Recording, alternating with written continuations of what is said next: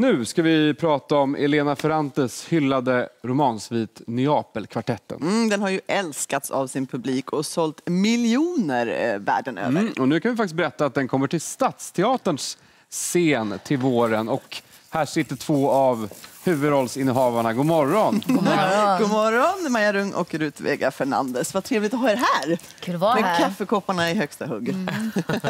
I, igår så, så visste ingen om att det skulle bli en pjäs. Och idag så ser man det överallt. I tidningar. Det bara slog ner som en bomb. Hur känns det? Är det omtumlande? Eller? Ja, men det är jättekul. Jättespännande. Ja. Ja, det är kul. Det är kul att det blir en nyhet. Ja. Det är kul när teater får bli en nyhet. Ja, men och det grundar sig väl i just eh, den här enorma succén och att den har sålt och det är så otroligt många som har läst och, och liksom har en relation eh, till de här böckerna. Och det vet jag att, att du eh, verkligen också har.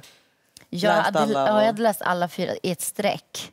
Jag fastnade verkligen. Alltså det var det där att komma in i första som många säger att de hade lite problem. Men när man väl liksom har tuggat sig igenom så var det bara sträckläsning. Det var Vad var det jätte- som fastnade för dig? Ja, jag tror det var, det var den här skildringen av vänskapen som jag tycker inte mig har läst förut riktigt. Att, eh, att den var skildrad på det sättet som hon målar fram den. Att den får vara allt som en vänskap kan vara. Alltså de är båda elaka, de är snälla, de är, de är avundsjuka. De är, alltså den, den rymmer så mycket den vänskapen och den, hon skriver fram den så fint. Så det var det som jag fastnade för mest.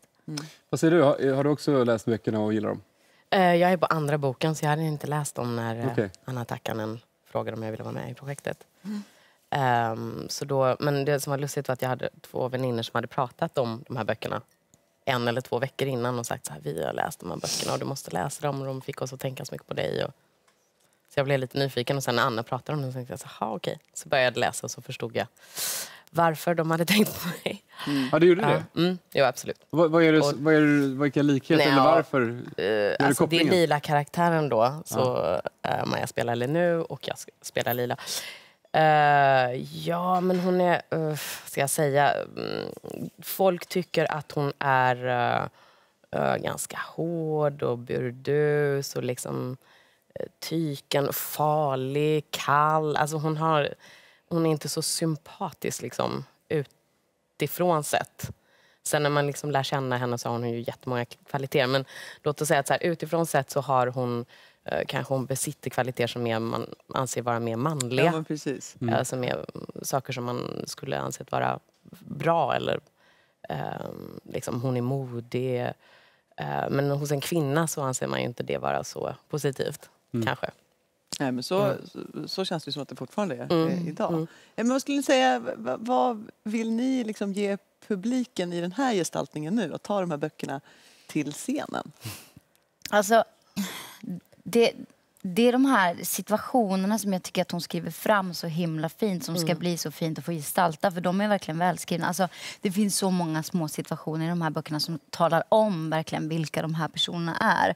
Och att de här personerna tillåts vara så mycket olika saker för att de hamnar hela tiden i olika situationer där de tvingas göra val. Och de gör hela tiden efter bästa förmåga som alla gör. Men jag menar, de växer också upp under väldigt speciella förhållanden. Och det ska bli fint att få ge kropp åt de här fantastiska tjejerna över tid.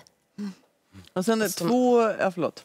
Nej, men det är två karaktärer som är väldigt, väldigt komplexa och det är väl inte jättevanligt också för kvinnor att få eh, rymma så mycket i en och samma karaktär. Och här liksom, så det är två kvinnor som båda två har positiva och negativa sidor, som båda två är modiga och fega. Och, ehm, så de, de rymmer så mycket som återigen så här, män oftast får göra. Ehm, det är sällan man ser det hos kvinnliga karaktärer. Dels är det det som är jättespännande för oss så här, som kvinnor. Ehm, men eh, sen är det också att prata om en, om en kontext och en epok som kanske inte är så vanlig inom populärlitteratur. Eller det här kanske ligger någonstans mellan skönlitteratur och populärlitteratur. Och som man kanske inte ser på teater så mycket idag.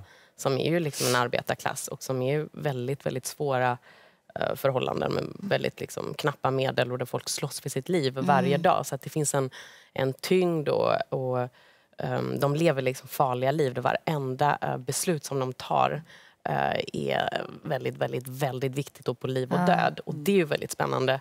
Eh, att visa på scen. På och, också, och också väcka empati för de här människorna som ju slåss för sina liv. Okej, ni, den går upp i mars hörde jag. Vad händer nu? Eh, jag, jag spelar Snövit nu på Stadsteatern. Eh, så det händer nu. När Vi ska börja? Ja, vi- repa i december. Ja, Ah. Ja. Det är ett tag kvar. Men man känner ju peppen kan man säga. Känner, ni, känner ni även pressen också? nej, nej faktiskt inte. Alltså jag tycker folk verkar, eller ja, ja nu får vi väl se hur det här mottas. Vi har men, inte läst manuset än, men Nej. böckerna är ju så otroligt eh, Det är också Ja. spännande. fina. Och, Verkligen. ja, och det är så mycket information i dem. Så att, Just det. ja. Ja, oj, oj, oj. Vi är många som ser fram emot detta. Stort lycka till. Ja, verkligen. Tack, Tack. för att ni kom hit.